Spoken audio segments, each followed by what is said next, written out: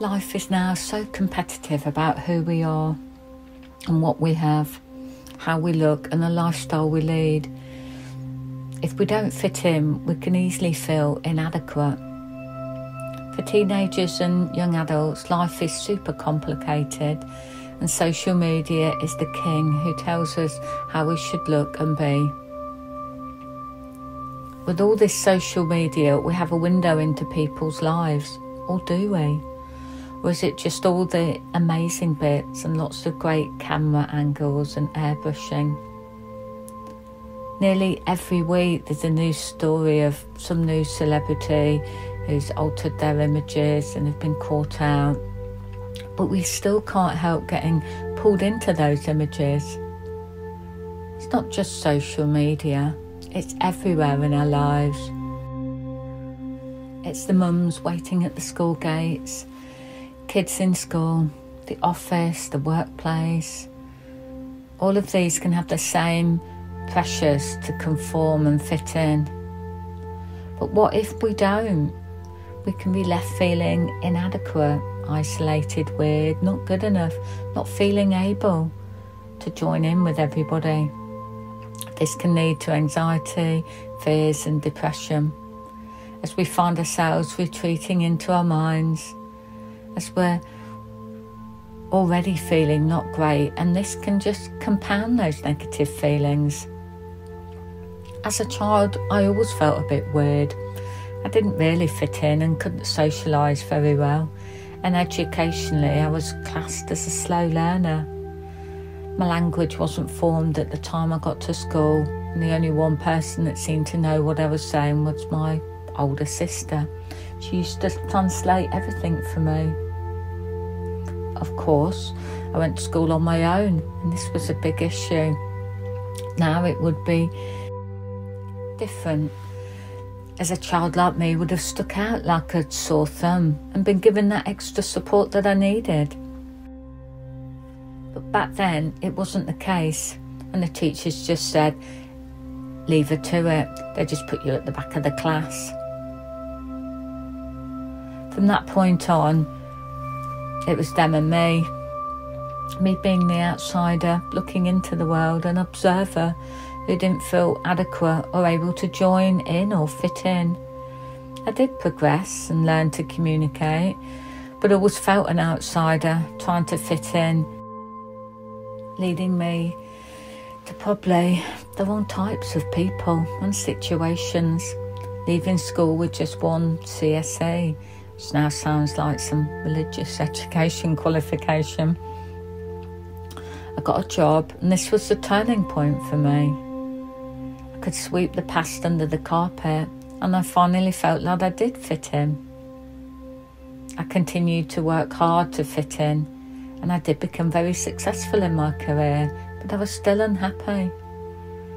I tried lots of therapy and self help, but hypnotherapy was my saviour and has helped me transform from the weird, super awkward child to a unique individual. I learned that I was massively dyslexic and I started my degree.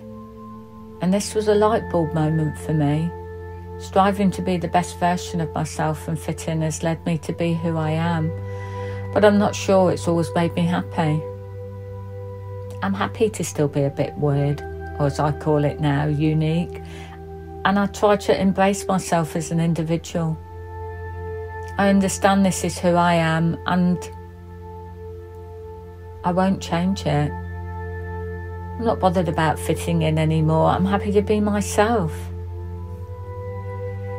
This is something we all need to learn to be. This is to be truly happy with just being ourselves and not fitting in. Back in the 80s, it was pop socks, big shoulder pads, Lion King perms, and all of those are so not in now and every decade have a, has something else that's the in thing. These things change, so they don't define us. It's who we are inside that truly counts. Being the old me was exhausting in my mission to try and fit in always on red alert, and super sensitive to what people thought of me. I now know truly there is no need, and it is safe to be who you are because that's all we can be. What we see on social media, the TV, and the news only portrays a small section of the world. The diversity of our society is ever growing, and being your unique self is the key. Life's too short to pretend to be somebody that you're not, and why would you? It doesn't make you happy. Instead of trying to fit in, spend the time finding the things in life that do make you happy, that enables you to be yourself and this will start growing your confidence in who you truly are. It's time to embrace every part of who you are, laugh things off, and don't take yourself so seriously.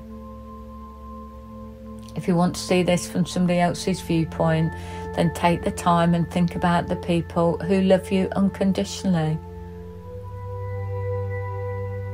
and what they would think if they knew you weren't being yourself around them. They would be hurt that they couldn't allow you to be yourself with them. They will want you to be happy in your life. And if people don't behave like this to you, they maybe don't love you as unconditionally as you'd like them to. Don't waste another day being someone you're not, trying to fit in with people. Of course, we all have to compromise, and, and that's life. But we do have a unique opportunity in life to embrace diversity and find who we truly are. No one can do this for you. This is your journey, and you might not know what will make you happy. But that's fine. One thing that will make you happy it's just to relax and be yourself. But as you challenge yourself to do what's right for you and find situations, experiences, and people that enable you to feel free to be you, it won't take you long to find out who you truly are